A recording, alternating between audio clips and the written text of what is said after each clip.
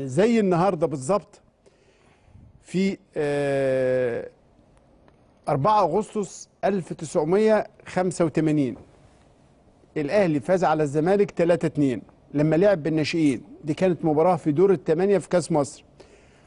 وده المعنى المباشر والحقيقي لخلاصة الكلام اللي قاله المهندس عدلي. لأنه الأهلي وقتها تمسك بثوابته. انتصر لهذا المبدأ فلعب مع الزمالك بالناشئين مع عتاولة الزمالك فاز الأهلي 3 2 ودي لقطات من هذه المباراة. العتاولة الكبار بتوع الزمالك. هنتكلم بس عشان نفكر الناس بعد ما يستمتعوا بالأجوان. آه. اتفضل. لكن 4 أغسطس ده, ده إحنا كسبنا لوبي ستار 3 1 وكسبنا آه بعد كده آه بريكوم تشيلسي آه 4 1 الغاني. وكسبنا آه الزمالك 3 2 خمسة 85 3 2 ها؟ 85 3 2 آه آه. دي أهداف هذا اليوم في المباراه 4 اغسطس في كذا سنة. أيوه. آه. لكن أنا 5 3 2 لما تشوفوا الصورة هتلاقوا مين؟ هتلاقوا كوارشي هتلاقوا فاروق حسن جعفر. شحاتة وفاروق هتلاقوا جعفر حسن شحاتة. هتلاقوا الزمالك بيلعب full team full team بالعتاوله آه. لما تشوفوا الملعب بتاع النادي الأهلي وقتها ما تفتكرش غير شوبير. آه. هو اللي كان من الفريق الكبير. ولا واحد. آه. هتفتكره. حمادة مرزوق عرفناهم بعد كده. حمادة مرزوق وحسام حسن و... بدر رجب ومحمد بدر السيد رجب و- وحسام إبراهيم ومحمد السيد و- ومحمد جمال. ومحمد جمال وطارق طارق خليل, آه. آه. آه. ده الهدف شوف. اندفاعة الشباب وحيويته وما فيش. ل- كان قطاع الناشئين بي... بي... بيحصل إيه بقى؟ وده اللي أنا آه. عايز أر- عايز إن أنا يعني أرجع للنقطة دي. كان فر... الفريق ده راجع من طب ألمانيا تسمع صوت المعلق في المباراة؟ طب ن- نستنى نستمتع بالم... نسيب الناس وبعدين نحكي القصص. آه كابتن إبراهيم الجويني. بيجيب الجول الأول للنادي الأهلي. تصبح نتيجة تقدم النادي الأهلي بهدف لا شيء بيحرزه حمادة مرزوق آه. حماده مرزوق الجون الأول. ثلاث دقايق. آه. فاروق جعفر. يعني بص أعتقد إن كابتن الجوهر عليه رحمة الله. بداية سريعة. القصة كلها يا جماعة كانت في مشكلة بين أنا عايزهم بس يشوفوا الاجواد آه. ليه- بصوت؟ الجويني. ها؟ بصوت وصوت الجويني ويشوفوا التعليق. وبعدين يشوفوا الأسماء. اللاعب رقم ويشوفوا إن حتى الزمالك بيتعادل بضربة جزاء. آه. من النادي الأهلي هو اللي جاب الجول الأول. وضربة الجزاء قصتها عندك. آه. وجول أهو. اللي بيقول لك جون حسن شحات. طيب الزمالك الجون بيجي. إيه إيه رايكم في التعادل. ده مش أوفسايد. مضي. دقيقة. ده هو أربعة. اللعيب بيلعبها. والجول هنشوف جول النادي الأهلي أهو مع بعض تاني. جامدة. حمادة مرزوق اللي جاب الجول. حمادة مرزوق جاب جول النادي الأهلي. حمادة أزارو. ده الجول بتاع أزارو. لاعب رقم 13 وادي الزمالك بيجيب هدف التعادل ويبقى واحد واحد في أربع دقائق بداية سريعة. زي ما قلت لحضراتكم من الفريقين. تفاحوا شايفين أعضاء الجهاز الكروي المسؤول. مضي ثلاث دقائق ثم أحرز فاروق جعفر هدف التعادل للزمالك بعد أربع دقائق ضربة ركنية. هيلعبها بدر رجب. أول ماتش؟ آه بدر رجب. رجب دلوقتي صانع ال- عليها صانع أبو الاشبال وتلعب جامدة. وتحط جوه الجول الجول الثاني للنادي الأهلي. بيجيبوا محمد السيد. محمد السيد. محمد السيد. من حاول يفوز. الملعب. أه طبعا. للنادي الأهلي. هنشوف الكورة مرة ثانية. محمد السيد بيحطها جوه الجول الجول الثاني للنادي الأهلي محمد السيد قاعد في الأرض. شايفينه اللي هو في وسط زملائه.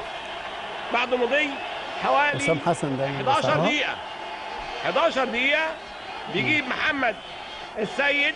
الجول الثاني للنادي الأهلي وتصبح النتيجة تقدم النادي الأهلي 2-1 هنشوف الجول مرة ثانية بتوصل لمحمد السيد وبيحطها جوه الجول. تقدم النادي الأهلي 2-1 طارق خليل الجول الثاني إجابة حلوة قوي لمحمد آه. السيد فدائي برضو ده كان هيدخل في الايد بتنقل ناحية محمد سعد. طارق خليل ده أخو الهداف. العبقري علي خليل. بتاع آه. الزمالك. لعبها بالعالية. وكوارشي بيحطها جوه الجول. كورش كوارشي بيحطها آه. جوه الجول. توفى كورش بيجيب السنة اللي الجول. الثاني لنادي كان الزمالك. دبابة بشرية برضه. بعد مضي أيوه حوالي 20 فلت دقيقة. منك كورش ده إزاي؟ لا ده ما ده إحنا فوجئنا بيه. 20 أنا دقيقة ما شفتش قوه بدنيه بالمنظر كوارشي ده بصراحة. الجول الثاني ما سمعتش عنه إلا هنا. آه. لقيته فجأة في الزمالك وحدق دبابة. 2 2 آه. كوارشي بيجيب الماتش إيه اللي كان ضربة الثاني؟ لنادي الزمالك. وتصبح النتيجة. جعفر حكى لك القصة دي اثنين آه. هنشوف الجول مرة ثانية. بيمشي. محمد حلمي؟ 2 2 لعبها ده محمد عالية. حلمي مدرب الزمالك السابق. كوارشي بيعملها بيحطها على طول. شوف بقى علي طارق خليل. عاطف الأباني. وجون فدائي. بص اللعيبة الصغيرة الضغط. الروح الضغط. الضغط والروح. وال- والثقة. والهدوء. بيجري بيها بسرعة. بيستنى. وبيمشي. بيلعبها عالية. حط جوه الجول يا سلام. الجول الثالث للنادي الأهلي. خلي بالك ده جون كده. كل جون هنا له نظيره. آه له طبعه حديثه للجماهير. مش معقول اجوال حلوة بنشوفها النهارده. آه. وبيجري بيخش مرة تانية. طارق خليل. طارق خليل بيجيب الجول الثالث للنادي الأهلي. من المفارقة برضه يا باشمهندس. خمس يعني دقايق من إحنا النهارده. بنتكلم يعني محمد البهنساوي تذكر هذه المباراة. هذه المباراة صاحب قرار المشاركة فيها الكابتن حسن حمدي. خليل ما هو كابتن صالح آه النهارده النهارده عيد ميلاده برضه. يعني والله. عيد ميلاده يأتي في مواكب نفس ال- ذكرى المباراة الحدث كان 4 الكبير. أغسطس برضو آه. آه. أغسطس يعني كل سنة وهو طيب. بس بص المفارقات هذا الجيل بالكامل أنا عايز أحكي عايز أحكي. بسرعة. آه. قصه المباراة دي وأنا شخصيا آه. كيف تلقيت هذه النتيجة؟ آه. القصة دي الكابتن الجوهري كان عامل معسكر في ألمانيا واختلف مع هاني مصطفى و... وكان على استبعاد لعيبة معينين منهم. مرن اللعيبة في نادي الشمس هنا؟ ما أنا هحكي آه. بس.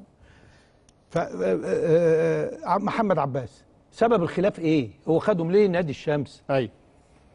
من خلال المعسكر هو عارف إنه هيرجع يلعب في دور الثمانيه مع الزمالك. أي. وكان أيضا فريق المنتخب في المغرب. يا جدع كان أيضا. فريق مين؟ كان فريق النادي الأهلي الناشئين مخلص معسكره برضه كان في ألمانيا ولا في النمسا آه. أي. فجاي فالجوهري آه، آه، عايز يرجع محمد عباس. حصل خلاف. امم لأن جوهري لما مشى محمد عباس قال لهم يعني تشبيه كده إنه ده هيبوظ الفرقة. امم حصل خلاف بينه وبين هاني مصطفى.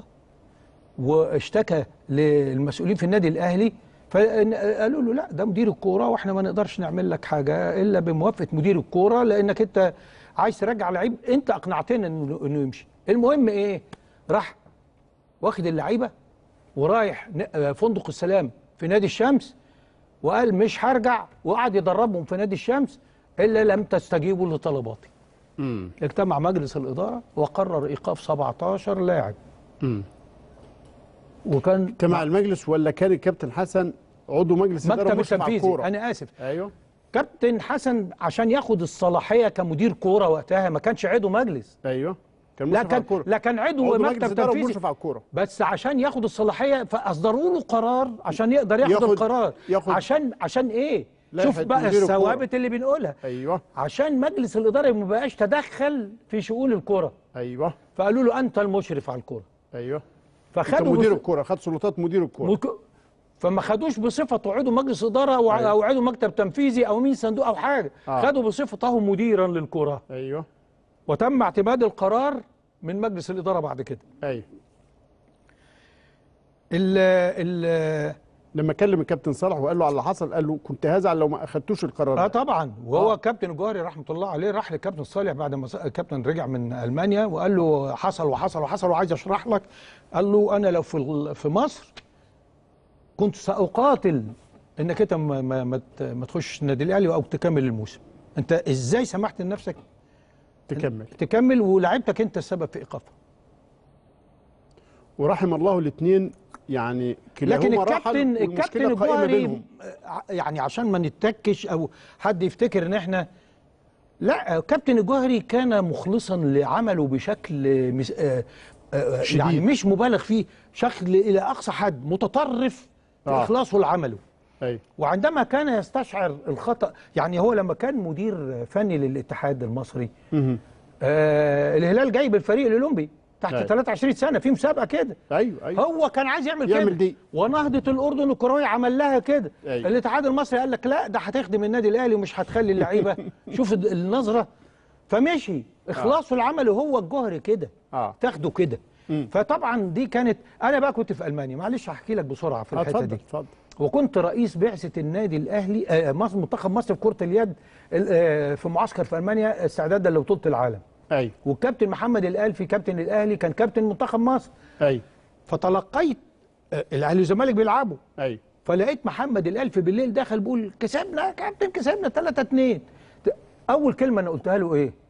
والله العظيم قبل ما احتفل لعبنا بالناشئين ولا بالكبار؟ آه. أقسم بالله. آه. قال لي بالناشئين رحت عامل كده. آه طبعا. لو وده- قال لي بالكبار كان طفالي فرحتي. لأن أنا أحب أحب خد القرار الصح.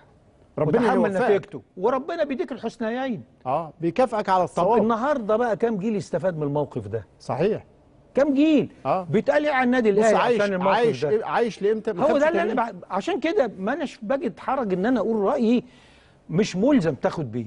بس قوله واسمعه مم. ومش معنى كده إنك تصنفني. مم. ما تصنفنيش. آه. لا الجمهور يصنفني ولا ده يصنفني ولا ده يصنف لازم تسمعوا القصص دي.